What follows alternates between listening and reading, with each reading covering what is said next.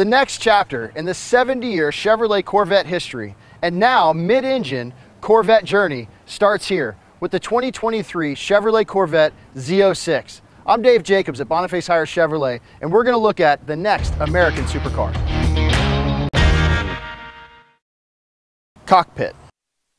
In the driver-focused cockpit, premium materials continue to elevate the luxurious look and feel introduced with the Stingray.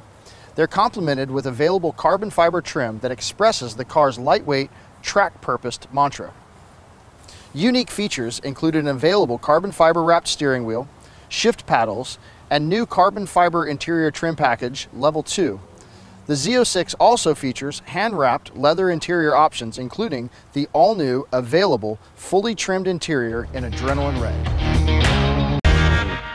Wide stance. The performance envelope of the Z06 is built upon the Stingray Corvette's foundation. Now having a 3.6 inch wider stance helps accommodate the massive 345 series tires. It also allows more airflow and handling to be the supercar on the track and the roadway. Track proven performance.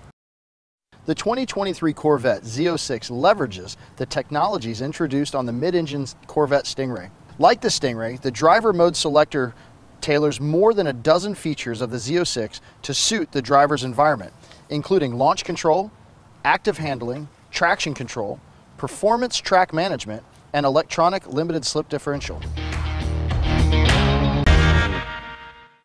Let's take a look at the engine.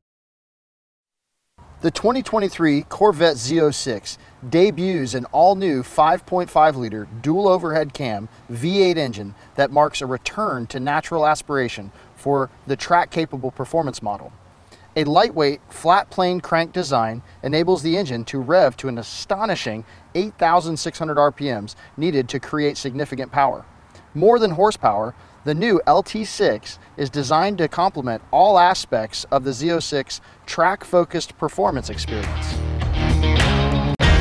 For more information about the Chevrolet Z06 and our full line of Chevrolets, come see us at Boniface Hiers Chevrolet in Melbourne, Florida, home of Warranty Forever. Thank you.